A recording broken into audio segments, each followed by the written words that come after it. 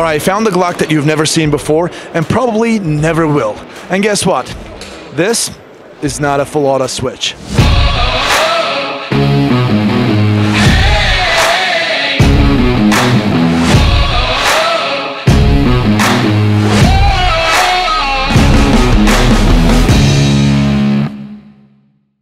Welcome back to Classic Firearms, guys. Kai over here, and today we're going to talk about a Glock you've never seen. Maybe you've heard of, but probably not, because I've never heard of it for the first time here at Enforce TAC 2024 uh, in Nuremberg, Germany. I got to see this thing right here in front of me. When I saw this gun, I was like, wait a minute, this looks really different, because we're all very used to seeing Glocks looking very similar from Gen 1 all the way to Gen 5. Just very minute, small differences, or yeah, differences. But in this case, this looked completely different. It is the Glock 46 right here. And if you can look at it, this thing looks really weird and different. Look at that barrel profile. Look at that trigger. I'm trying to hold my mic at the same time, guys, so sorry about this whole shaky thing. And look at the back plate area.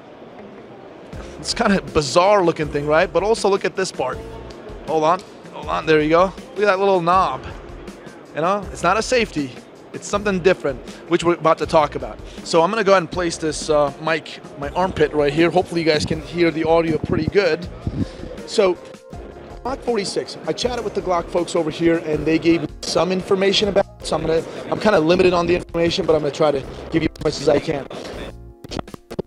Specifically requested Glock, where you cannot disassemble this gun without removing the magazine and also without pressing the trigger.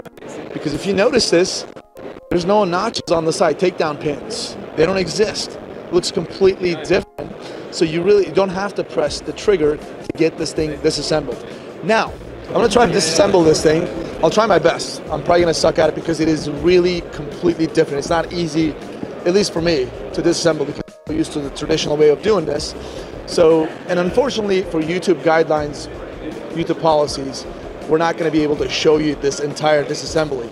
But you really have to see it. It's kind of bizarre, different. So you're going to have to go to Rumble for this. So here it goes. There we go. So it's kind of weird. I can't really show you that, but you have to really line it up perfectly. And now this is, uh, the slide is locked to the back. Just simply push this in, lock it, and turn it. And now I can send the slide uh, home, and this gun is good to go.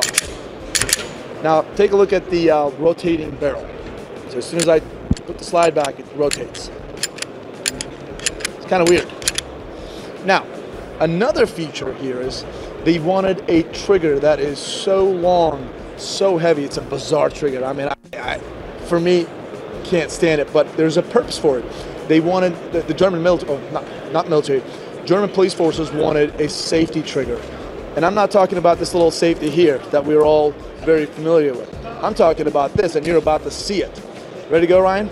All right, so pressing, pressing, still not going off, still pressing. It's really heavy, still not going off, pressing, still not going off. There you go. Pretty much all the way at the wall. And But look at the reset, though. Here's the reset. That's it. So there's no slack. You start pressing, that's the wall. You see how long the wall is, how long you have to travel before you hit the wall, just like right here. And then you apply some pressure, and it's a lot of pressure. There's a little bit of travel, then it goes bang. So the whole point is, you know, if you do have a target or threat, I guess, you present, you start pressing the trigger, you have plenty of time to, I guess, not have an accidental discharge. Also, I guess some folks who, you know, maybe not as trained, they try to draw their weapon with their finger on the trigger, you're gonna kind of uh, have that extra safety measure for you. I mean, you should never do that. Obviously, it's not a good idea to uh, draw a weapon or put your finger on the trigger without having the intention of pressing it. That's not a good idea. It's a violation of firearm safety rules. But some people still do it, and Glock is trying to get ahead of it per the request of the German police force. That's it. Other than that, everything else looks about the same, like the Glock 19 type frame and the uh, typical Glock sights over here but it's a bizarre looking little machine here. Let us know your thoughts about this. I want to know if you guys knew about Glock 46.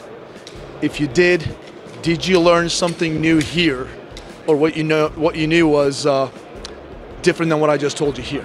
Because I'm just telling you this limited information that I got from these guys over here. And unfortunately, I can't have them on camera because they don't want to be filmed. But still, I think it's a bizarre looking thing.